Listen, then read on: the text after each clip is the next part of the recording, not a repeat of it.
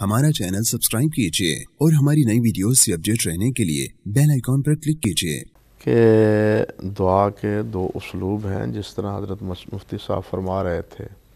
ایک دعائے مسئلہ ہے سوال ہے۔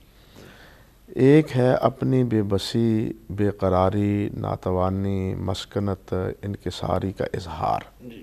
یہی مطلوب ہے اللہ ذوالجلال والاکرام کو۔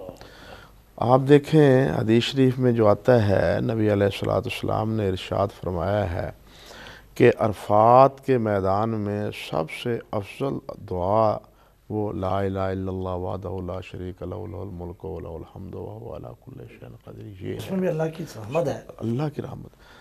اصل میں جب آج کل ہمارے ہاں بھی ہے محتاج فقیر جب آتے ہیں نا وہ کیا کہتے ہیں؟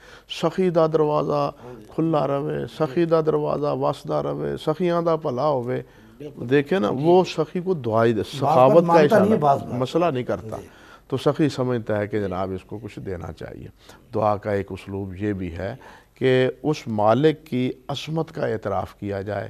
اور اپنی مسکنت کا اظہار کر دیا جائے ضرورت کو تو وہ خود بخود جانتا ہے۔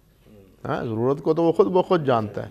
حضرت ایوب علیہ السلام کی اس دعا میں بھی یہی حکمت پنہا ہے جس میں انہوں نے یہ بات اللہ رب العزت سے عرض کی رب انی مسنی الزر و انت ارحم الراحمین۔ اللہ مجھے تکلیف پہنچی ہے۔ ہاں تکلیف کو بھی اللہ جانتا ہے۔ اس کی طرف سے آئی ہے اور وہ جانتا ہے کہ تکلیف کیسی ہے۔ وانتا رحم الرحمین، سب سے زیادہ مہربان آپ ہیں، سب رحم کرنے والوں سے آپ رحم کرنے والے یہاں بھی انہوں نے اپنی فروتنی کا اور اپنی ابدیت کا اور اپنی مسکنت اور بے بے بسی کا انہوں نے اللہ رب العزت کے سامنے اظہار کیا ہے۔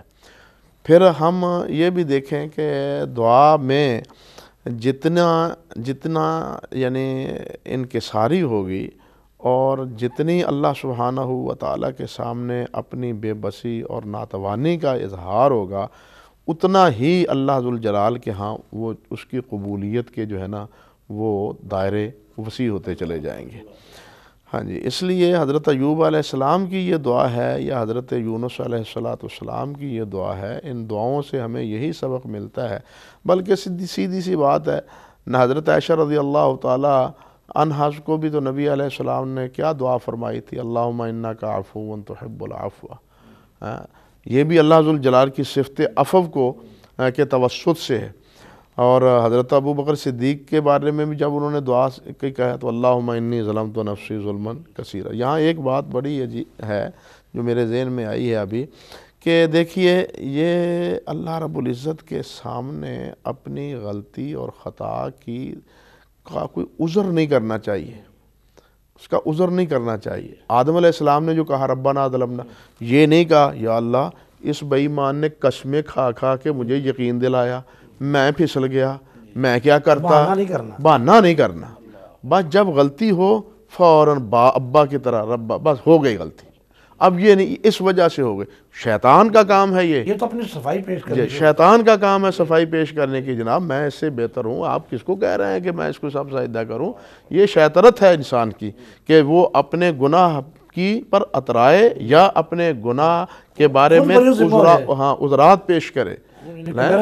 ہاں اس کا انسان کا کی عظمت اسی میں ہے کہ جب اس سے غلطی ہو جائے تو پھر فوراً ربنا ظلمنا انفسنا وإن لم تغفر لنا. پیغام ٹی وی